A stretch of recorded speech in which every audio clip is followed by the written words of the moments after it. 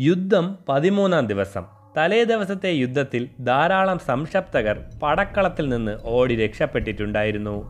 അർജുനനെ കൊല്ലുമെന്ന് പ്രതിജ്ഞാബദ്ധരായ അവർ കൂടുതൽ ഭടന്മാരെ സംഘടിപ്പിച്ചുകൊണ്ട് അന്നും അർജുനനെ പോരിന് വിളിച്ചു. അർജുനനെ പുലഭ്യം പറയുകയും പരിഹസിക്കുകയും ചെയ്തപ്പോൾ ഗത്യന്തരമില്ലാതെ അവരോട് ഏറ്റുമുട്ടാനായി അന്നും പ്രഭാതത്തിൽ അർജുനൻ പോവുകയുണ്ടായി. അർജുനൻ പോയ വിവരം അറിഞ്ഞയുടൻ തന്നെ ദ്രോണൻ തന്റെ സൈന്യങ്ങളുമായി പടക്കളത്തിലെത്തി വ്യൂഹം ചമച്ചു.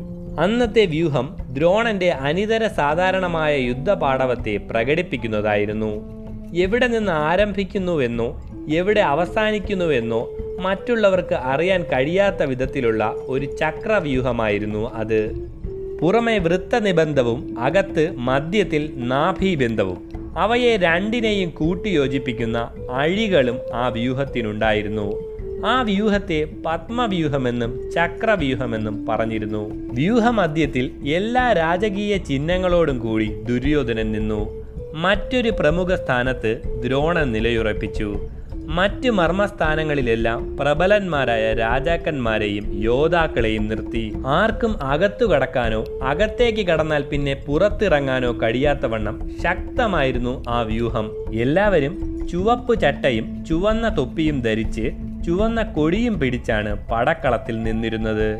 പ്രഭാത സൂര്യന്റെ അരുണവർണമായ കിരണകന്തളങ്ങൾ തട്ടിയപ്പോൾ കൗരവപ്പടയുടെ വേഷവിധാനങ്ങളും ആയുധങ്ങളും വെട്ടിത്തിളങ്ങി. പാണ്ഡവരും നേരത്തെ തന്നെ യുദ്ധക്കളത്തിലെത്തി. കൗരവരുടെ വ്യൂഹബന്ധനവും ദ്രോണരുടെ അക്ഷോഭ്യമായ നിൽപ്പും അർജുനന്റെ അഭാവവും യുധിഷ്ഠിരന്റെ മനസ്സിനെ ദുർബലപ്പെടുത്തി. അല്പം പരിഭ്രമം തോന്നിയെങ്കിലും അദ്ദേഹം അത് പുറത്തു കാണിച്ചില്ല. പാണ്ഡവർ വേഗത്തിൽ വ്യൂഹബന്ധനം നടത്തി. പതിവ് പോലെ യുദ്ധം ആരംഭിച്ചു. യുധിഷ്ഠിരന്റെ സൈന്യം ശക്തമായി കൗരവപ്പടയോട് എതിർത്തു. വളരെ നേരം പൊരുതിയിട്ടും അല്പം പോലും മുന്നോട്ട് നീങ്ങാൻ അവർക്ക് കഴിഞ്ഞില്ല. അത്രത്തോളം ഉഗ്രമായ വിധത്തിലാണ് ദ്രോണൻ ചെറുത്തു നിന്നത്. അദ്ദേഹത്തിന്റെ ശരവർഷം കൊണ്ട് പാണ്ഡവർക്ക് പൊറുതിമുട്ടി. അവരുടെ അനേകം യോദ്ധാക്കളും ഗജങ്ങളും അശ്വങ്ങളും ചത്തുവീണു സേനാനായകന്മാർക്കു തന്നെ മുറിവേറ്റു.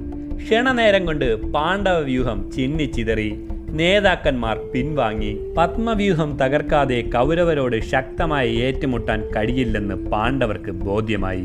പത്മവ്യൂഹത്തെ ഭേദിക്കാൻ അറിവുള്ളവർ പാണ്ഡവരുടെ കൂട്ടത്തിൽ അർജുനനും അഭിമന്യുവും മാത്രമേയുള്ളൂ. അർജുനൻ സംശപ്തകരോട് ഏറ്റുമുട്ടാൻ പോയിരിക്കുകയാണ്. അപ്പോൾ പിന്നെ അഭിമന്യുവിനെ കൊണ്ട് പത്മവ്യൂഹം ഭേദിക്കുകയല്ലാതെ മറ്റൊരു മാർഗമില്ല. അഭിമന്യു യുവത്വം മുറ്റിത്തെളിയാത്ത ബാലനാണ് താനും. എങ്കിലും അവനോട് തന്നെ ആവശ്യപ്പെടാമെന്ന് എല്ലാവരും കൂടി തീരുമാനിച്ചു. അങ്ങനെ യുധിഷ്ഠിരൻ അഭിമന്യുവിനോട് പറഞ്ഞു നാം വല്ലാത്ത വിഷമഘട്ടത്തിൽ എത്തിയിരിക്കുന്നു. ചക്രവ്യൂഹം ഭേദിച്ചില്ലെങ്കിൽ നമ്മുടെ നിലനിൽപ്പ് തന്നെ പരുങ്ങലിലാകും. ചക്രവ്യൂഹത്തെ ഭേദിക്കാൻ കഴിവുള്ളവർ ആകെ നാല് പേരെയുള്ളൂ കൃഷ്ണൻ അർജുനൻ പ്രദ്യുപ്നൻ പിന്നെ നീയും. അവരാരും ഇപ്പോഴിവിടെയില്ല നമ്മുടെ വംശത്തിന്റെ അഭിമാനം കാത്തുരക്ഷിക്കാൻ നീ ബാധ്യസ്ഥനാണ്. അതുകൊണ്ട് നീ തന്നെ മുന്നിൽ നിന്ന് ഈ വ്യൂഹം ഭേദിക്കണം. ഞങ്ങളെല്ലാം നിന്നോടൊപ്പം ഉണ്ടാകും. നീ വ്യൂഹത്തെ ഭേദിച്ചു കഴിഞ്ഞാലുടൻ ഞങ്ങളും നിന്റെ കൂടെ ഉള്ളിൽ കടന്നുകൊള്ളാം. ഞങ്ങൾ നിന്നെ രക്ഷിക്കുകയും ചെയ്യും. യുധിഷ്ഠിരന്റെ വാക്കുകൾ കേട്ടപ്പോൾ അഭിമന്യുവിന് അഭിമാനമാണ് തോന്നിയത്. അവൻ അഹങ്കരിക്കാതെ വിനയത്തോടെ പറഞ്ഞു മഹാരാജാവേ പത്മവ്യൂഹം പിളർന്ന് അകത്തു കയറാൻ എനിക്കറിയാം. അച്ഛൻ അതെനിക്ക് പറഞ്ഞു തന്നിട്ടുണ്ട്. എന്നാൽ അതിൽ നിന്ന് പുറത്തു കടക്കാനുള്ള മാർഗം പറഞ്ഞു തന്നിട്ടില്ല. എങ്കിലും ഞാൻ സുഭദ്രയുടെയും അർജുനന്റെയും പുത്രനാണെങ്കിൽ ദ്രോണരുടെ അഭേദ്യമായ പത്മവ്യൂഹം ഭേദിക്കും. ഈ വാക്കുകൾ കേട്ടപ്പോൾ യുധിഷ്ഠിരൻ അഭിമാനത്തോടെ പറഞ്ഞു മകനെ പുറത്തു കടക്കാനുള്ള മാർഗം അറിയാത്തതുകൊണ്ട് നീ വിഷമിക്കേണ്ട. നിന്റെ കൂടെ തന്നെ ഞങ്ങളും ഉള്ളിൽ പ്രവേശിച്ച് കൗരവസേനയെ ചിഹ്ന ഭിന്നമാക്കിക്കൊള്ളാം അപ്പോൾ പിന്നെ പുറത്തു കടക്കാൻ പ്രത്യേകമായ മാർഗമൊന്നും ആവശ്യമില്ല. അങ്ങനെ അഭിമന്യുവിനെ മുന്നിൽ നിർത്തി പാണ്ഡവ സൈന്യം പത്മവ്യൂഹം ഭേദിക്കാനുള്ള ശ്രമങ്ങൾ ആരംഭിച്ചു. തന്റെ രഥം പത്മവ്യൂഹത്തിനടുത്തേക്ക് തെളിക്കാൻ സാരഥിയായ സുമിത്രനോട് അഭിമന്യു ആവശ്യപ്പെട്ടു. സുമിത്രൻ പഴക്കം ചെന്ന ഒരു തേരാളിയായിരുന്നു. അഭിമന്യു വലിയ ഒരു സാഹസത്തിനാണ് ഒരുമ്പെടുന്നതെന്ന് സുമിത്രന് മനസ്സിലായി. അദ്ദേഹം അഭിമന്യുവിനോട് പറഞ്ഞു കുമാര ദ്രോണൻ വലിയ യോദ്ധാവാണ്. അദ്ദേഹം ചമച്ചിരിക്കുന്ന വ്യൂഹം അസാമാന്യമായ വിധത്തിലുള്ളതാണ്. അതുകൊണ്ട് അങ്ങ് കാട്ടുന്നത് അവിവേകമാണ്. പത്മവ്യൂഹം തകർത്ത് കൗരവരെ ആക്രമിക്കാനുള്ള ആവേശത്താൽ മതിമറന്നു നിൽക്കുന്ന അഭിമന്യു സുമിത്രന്റെ വാക്കുകൾക്ക് ഒരു വിലയും കൽപ്പിച്ചില്ല. അവൻ സുമിത്രനോട് പറഞ്ഞു സുമിത്ര ദ്രോണൻ വലിയ ആൾ തന്നെ. പക്ഷെ പടക്കളത്തിൽ ദേവേന്ദ്രൻ ദേവസൈന്യങ്ങളോടുകൂടി തന്റെ നാൽക്കൊമ്പൻ ആനയായ ഐരാവതത്തിന്റെ പുറത്തേറി വന്നാലും അവനോട് നിർഭയനായി എതിർക്കുന്നവനാണ് യോദ്ധാവ്. പ്രായം കുറവാണെങ്കിലും ഞാൻ തികഞ്ഞ യോദ്ധാവാണ്. ഭയപ്പെടാതെ തേർ തളിച്ചുകൊള്ളൂ. വലിയവരുടെയും ചെറിയവരുടെയും ഒക്കെ തലയേറ്റ് വീഴുന്നത് ഞാൻ കാണിച്ചു തരാം. സുമിത്രൻ പിന്നീടൊന്നും പറഞ്ഞില്ല. അവൻ രഥം കൗരവ വ്യൂഹത്തെ ലക്ഷ്യമാക്കി ഓടിച്ചു. വായുവേഗത്തിൽ പാഞ്ഞു വരുന്ന അഭിമന്യുവിന്റെ രഥം കണ്ടപ്പോൾ ദ്രോണൻ സിംഹഗർജനം നടത്തി. ഇത് കേട്ട് കൗരവപ്പട ആകെ ഉണർന്നു. എല്ലാവരും ഉച്ചത്തിൽ ആർത്ത് വിളിച്ചുകൊണ്ട് ഏറ്റുമുട്ടാൻ തയ്യാറായി നിന്നു. അഭിമന്യു പത്മവ്യൂഹത്തിനടുത്തെത്തി. തൊട്ടു പിന്നിൽ തന്നെ പാണ്ഡവ നേതാക്കളുമുണ്ട്. അഭിമന്യുവും പാണ്ഡവരും മഴ പോലെ ശരങ്ങൾ വർഷിക്കാൻ തുടങ്ങി. കൗരവരും അതുപോലെ ഇങ്ങോട്ടും വർഷിച്ചു. അഭിമന്യുവിന്റെ ശരവേഗവും അവയുടെ തീക്ഷണതയും ആരെയും അമ്പരപ്പിക്കുന്ന വിധത്തിലായിരുന്നു. ആർക്കും അവന്റെ അമ്പുകൾ തടുക്കുവാൻ കഴിഞ്ഞില്ല. ഒരേ സമയം എതിരാളികളുടെ ശരങ്ങൾ തടയുകയും ശക്തിയേറിയ ശരങ്ങളയച്ച് അവരെ വീഴ്ത്തുകയും ചെയ്തുകൊണ്ട് അഭിമന്യു അനവധി മഹാരഥന്മാർ തിങ്ങി നിറഞ്ഞ ആ അടർക്കളത്തിൽ അത്യുജ്വലമായ യോദ്ധാവായി വിരാജിച്ചു. അധികം താമസിയാതെ പത്മവ്യൂഹം ഭേദിച്ച് അഭിമന്യു അതിനുള്ളിലേക്ക് കടന്നു. അഭിമന്യു ഉണ്ടാക്കിയ വിടവിൽ കൂടി അവന്റെ രഥം വ്യൂഹത്തിനുള്ളിലേക്ക് കയറിയെങ്കിലും അസഖ്യം ഭടന്മാരും കൗരവ നേതാക്കളും ചേർന്ന് നിമിഷ നേരങ്ങൾക്കുള്ളിൽ ആ വിടവ് അടച്ചു കളഞ്ഞു അതുകൊണ്ട് അതിൽ കൂടി ഉള്ളിലേക്ക് കടക്കാൻ വന്ന പാണ്ഡവന്മാർ തടയപ്പെട്ടു. ജയേന്ദ്രതന്റെ നേതൃത്വത്തിലാണ് പാണ്ഡവന്മാർ തടയപ്പെട്ടത്. ഒട്ടനവധി മഹാരഥന്മാർ ജയേന്ദ്രതനെ എതിർത്തു. എപ്രകാരമെങ്കിലും വ്യൂഹം ഭേദിക്കുന്നതിന് വേണ്ടി അവർ യുദ്ധം ചെയ്തു. എന്നാൽ അവർക്ക് ജയേന്ദ്രതനെ തോൽപ്പിക്കാൻ കഴിഞ്ഞില്ല. അവൻ പാറ പോലെ ഉറച്ചു നിന്ന് വ്യൂഹത്തെ സംരക്ഷിച്ചു. പാണ്ഡവരുടെ ആക്രമണങ്ങളെല്ലാം വിജയകരമായി ചെറുക്കുകയും ചെയ്തു. ജയന്ദ്രഥനിൽ നിന്ന് ഇത്രയും വലിയൊരു പ്രതിരോധം ആരും പ്രതീക്ഷിച്ചിരുന്നില്ല. സത്യത്തിൽ ജയന്ദ്രഥൻ യുദ്ധ നൈപുണ്യത്തിൽ പാണ്ഡവരിൽ ആരെയും കാൽ താഴ്ന്നവനാണ്. എന്നിട്ടും ജയന്ദ്രഥന് അനേകം മഹാരഥന്മാരെ ഒന്നിച്ച് തടഞ്ഞു നിർത്തി. അവരെ ജയിക്കാൻ കഴിഞ്ഞത് എങ്ങനെയാണെന്ന് ആലോചിച്ച് എല്ലാവരും അത്ഭുതപ്പെട്ടു. ജയന്ദ്രഥന്റെ അനിതര സാധാരണമായ ശക്തി പ്രകടനത്തിന് പ്രത്യേകമായ ഒരു കാരണമുണ്ടായിരുന്നു. മുമ്പ് പാണ്ഡവന്മാർ ദൈത്യവനത്തിൽ താമസിക്കുന്ന കാലത്ത് ജയേന്ദ്രൻ പാഞ്ചാലിയെ അപഹരിക്കാൻ ശ്രമിക്കുകയും ഭീമൻ അവനെ പിടിച്ചുകെട്ടി അപമാനിച്ചു വിടുകയും ചെയ്യുകയുണ്ടായി. അതിനുശേഷം അവൻ പരമശിവനെ തപസ് ചെയ്ത് പാണ്ഡവരെ ജയിക്കുന്നതിനുള്ള വരം ചോദിച്ചു. അർജുനനെ ഒഴികെ മറ്റ് നാല് പേരെ നീ ഒരു ദിവസം ജയിക്കും എന്ന് പരമശിവൻ വരം നൽകി. ആ വരബലം കൊണ്ടാണ് ജയേന്ദ്രഥന് പാണ്ഡവന്മാരെ അന്നത്തെ ദിവസം ജയിക്കാൻ കഴിഞ്ഞത് തങ്ങളുടെ പ്രേരണ കൊണ്ട് അഭിമന്യു വ്യൂഹം ഭേദിച്ച് അകത്ത് കടന്നിരിക്കുന്നു. ദ്രോണൻ കൃപൻ ദുര്യോധനൻ ശകുനി ശല്യൻ ദുഷാസനൻ കർണൻ അശ്വത്ഥാമാവ് തുടങ്ങിയ എണ്ണിയാലൊടുങ്ങാത്ത മഹാരഥന്മാരെയാണ് അവൻ എതിരിടേണ്ടി വരിക. അവൻ ഏകനാണ് തുണയ്ക്കാരുമില്ല അവന് എന്തും സംഭവിക്കും. ഇപ്രകാരം ചിന്തിച്ച യുധിഷ്ഠിരാദികൾ പിന്നെയും പിന്നെയും വ്യൂഹം ഭേദിച്ച് അകത്ത് കടന്ന് അഭിമന്യുവിന്റെ തുണയ്ക്കെത്താൻ അനവരതം പ്രയത്നിച്ചു കൊണ്ടിരുന്നു എന്നാൽ ജയേന്ദ്രഥൻ അവരെയൊക്കെ ആട്ടിപ്പായിച്ച് വെണ്ണിക്കൊടി പാറിച്ചു. പത്മവ്യൂഹത്തിനുള്ളിൽ പ്രവേശിച്ച അഭിമന്യു ഒരു സിംഹക്കുട്ടി ആനക്കൂട്ടത്തെ ആക്രമിക്കുന്നത് പോലെ ആക്രമണം ആരംഭിച്ചു. അഭിമന്യുവിന്റെ ആക്രമണത്തിൽ അഗ്നിയിൽ വീഴുന്ന ഈയാമ്പാറ്റകളെ പോലെ കൗരവ സൈന്യം മരിച്ചു വീണു. ഒടിഞ്ഞ കുന്തങ്ങളും മുറിഞ്ഞ വാളുകളും പൊട്ടിയ പരിചകളും മകുടം പോയ ഗതകളും അടർന്നു വീണ മഴുവും ശബ്ദം നിലച്ച ശംഖുകളും തകിടം മറിഞ്ഞ തേരുകളും ചത്ത കുതിരകളും കൊണ്ട് രണഭൂമി നിറഞ്ഞു. ഇത്രയൊക്കെ ആയിട്ടും അഭിമന്യുവിന്റെ ശരീരത്തിൽ ഒരു പോറൽ പോലും ഏൽപ്പിക്കുന്നതിന് ആർക്കും കഴിഞ്ഞില്ല. വ്യൂഹബന്ധം മൊത്തത്തിൽ തകർന്ന് സൈന്യങ്ങൾ ചിന്നിച്ചിതറി ഓടുമെന്ന നിലയായി. അഭിമന്യുവിന്റെ അഭ്യാസ പ്രകടനങ്ങൾ മനസ്സ അഭിനന്ദിച്ചുകൊണ്ട് ഇതെല്ലാം കണ്ട് രസിക്കുന്നത് പോലെ വെറുതെ നിൽക്കുകയാണ് ദ്രോണൻ. ദുര്യോധനന് ആകെ പരിഭ്രമമായി. ദുര്യോധനൻ ഉടൻ തന്നെ അഭിമന്യുവിനോട് ഏറ്റുമുട്ടി. കർണൻ ശല്യൻ അശ്വത്ഥാമാവ് തുടങ്ങിയ അനേകം വീരന്മാർ അവന്റെ സഹായത്തിനുമെത്തി. എന്നാൽ അഭിമന്യു നിർഭയനായി അവരോടെല്ലാം പോരാടി. ആർക്കും അവന്റെ അടുത്തെത്താൻ കഴിയാത്ത വിധമായിരുന്നു അവന്റെ പരാക്രമങ്ങൾ.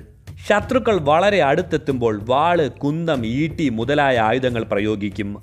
അകന്നു നിൽക്കുന്നവരെ ശരങ്ങൾ കൊണ്ട് തകർക്കും. കർണൻ കൃപൻ തുടങ്ങിയവർക്കെല്ലാം അഭിമന്യുവിന്റെ ശരങ്ങളേറ്റു. ഒരിക്കൽ ശല്യൻ അഭിമന്യുവിന്റെ ബാണമേറ്റി മോഹാലസ്യപ്പെട്ട് തേരിൽ ഇരുന്നു പോയി. ഇത് കണ്ടപ്പോൾ ശല്യന്റെ അനുജൻ ക്രോധാവേശത്തോടെ അഭിമന്യുവിനെ നേരിട്ടു. എന്നാൽ നിമിഷ നേരം കൊണ്ട് അവന്റെ കൊടി കുതിര തേര് തേരാളി എന്നിവയെല്ലാം നശിപ്പിച്ചിട്ട് ശല്യാനുജനെ തന്നെ കഷണം കഷണമാക്കി വെട്ടി നുറുക്കി. സൈന്യങ്ങൾ പ്രാണഭയത്താൽ നിലവിളിച്ചുകൊണ്ട് നാല് ഭാഗത്തും ഓടാൻ തുടങ്ങി. ഇത് കണ്ടുകൊണ്ട് നിന്ന ദ്രോണൻ തന്നെ അഭിമന്യുവിനോട് ഏറ്റുമുട്ടാൻ തയ്യാറായി.